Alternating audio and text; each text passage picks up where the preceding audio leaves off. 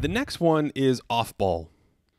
And this gets us back to Anthony Davis, who, if you haven't listened to it, I did a greatest off ball players episode trying to just focus on the offensive value guys bring without their kind of like on ball game if we had to strip that away. I think Davis one of the great off ball players ever and one of the great off maybe maybe the best uh, off ball big of all time because you're looking for skills like offensive rebounding, uh, you know, finishing at the rim with lobs, pick and roll partnership, but then also pick and pop ability. Um, he moves very well and flashes to spots in the mid range, gets moves in transition like this, can back cut, and can hit the three. And can fade to the three, can go from being a screener to, to a shooter. Uh, a huge number uh, percentage of kind of his shots have been assisted over the years. You might not notice that unless you watch him a lot or know that data. But I think the key to this is that it's rare. This is a very rare skill set because to kind of fit in this category, you have to have some kind of inside outside combination game. I, I think a historical example of this would be someone like Kevin Garnett, where you've got post skills and you're big and you can do other things, but you also have an outside shot and maybe you're comfortable handling and passing. I think it's a very rare kind of category.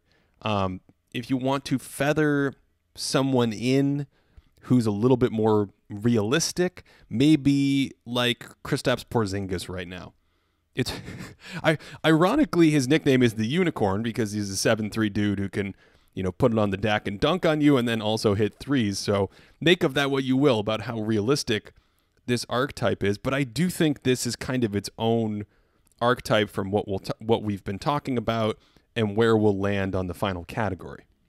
One thing to really note, though, as is the case with a lot of off-ball greatness, uh, it's less about floor raising. It's you're you're going to see less of a hey, let's build our offense around this guy and have these incredible regular season results, and more of what I think you saw in New Orleans with Anthony Davis, which is okay, things are good, but they don't jump off the page. Now, I said this before. I said this in my top 10 video last year when talking about his case for the best player in the league last season.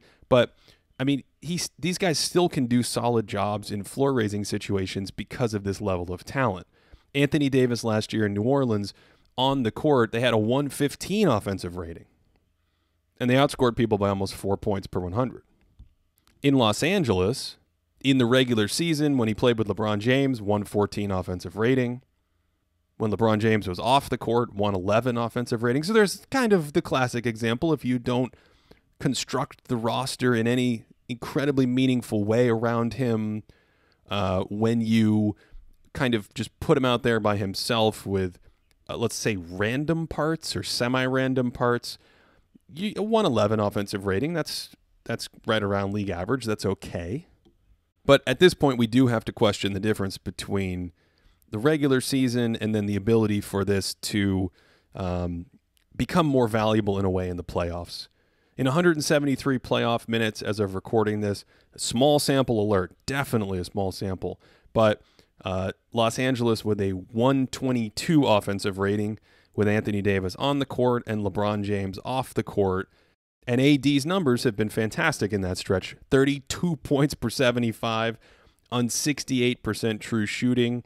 There's some luck to that. His mid range shot right now is in the mid to high 50s. I just, I don't think that's sustainable at all. Uh, I do think it's we can buy that he's improved his mid range shot and that he's a good mid range shooter, but those are just off the charts numbers. If you bring them back down even to 45% on these mid range shots, uh, he'd be like 29 points per 75 on 62% true shooting. The offense, in theory, just from those shots alone, would go down to about 118, 119 offensive rating. So, still great stuff, but in a very small sample. The thing that jumps out to me is the offensive rebounding. Six offensive rebounds per 100. That's a huge number. And he's shooting 80% at the rim in the postseason. Again, these are small samples, but that one's more sustainable to me because that one is a reflection of him just destroying smaller teams or teams that are ill equipped to handle his balance of speed, athleticism, cutting, and size.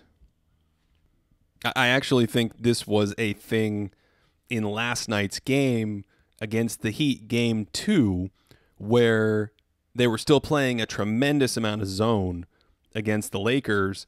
And then you have Davis coming in, grabbing offensive rebounds, and mm, let's say certain commentators then criticize the effort of the Heat team. And I don't think that's it at all. Instead, you can you can there's a number of instances you can see it on film. Kendrick Nunn, if he's the low guy on the block, and Davis roams into his area in the zone, that's just a mismatch. It's going to take a lot of work for Nunn to make sure he keeps AD off the glass in those situations. And yeah, when he roots down like that, uh, just his entire athletic package uh, has made it really difficult for teams. So that is more sustainable to me.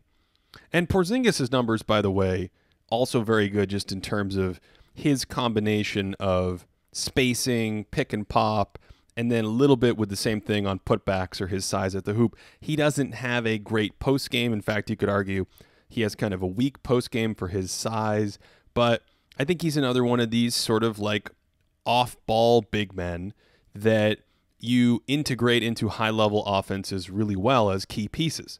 With Luka Doncic, a 118 offensive rating. It's Porzingis and Doncic on the court in the regular season when they were both off. By the way, the Mavs still had a 114 offensive rating. I've talked about how good their bench can be and basically the way Carlisle has them playing. He's just a fantastic coach. Just a fantastic coach. But Kristaps Porzingis on the court in those minutes without Luka Doncic this year also had a 118 offensive rating. And this comes out in our PIPM filter where when we look at the performance against these top defenses, only in the last two seasons, he's 22nd in the whole league, plus 2.7. So these guys, Anthony Davis, 18th, plus 3.2. So not only do these guys have a lot of value, but I think there's a lot of signals saying they're really, really good.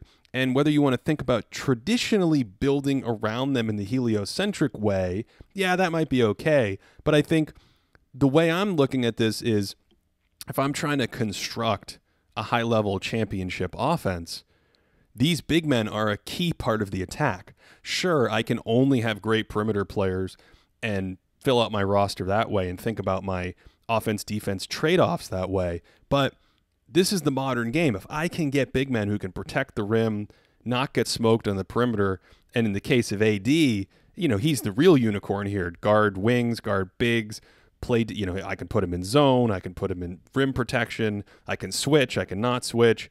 Um, having this kind of offensive package for a big man is huge. Thanks for listening. You can find the full episode of this Thinking Basketball podcast on Apple Podcasts, Stitcher, Spotify, or wherever you enjoy podcasts.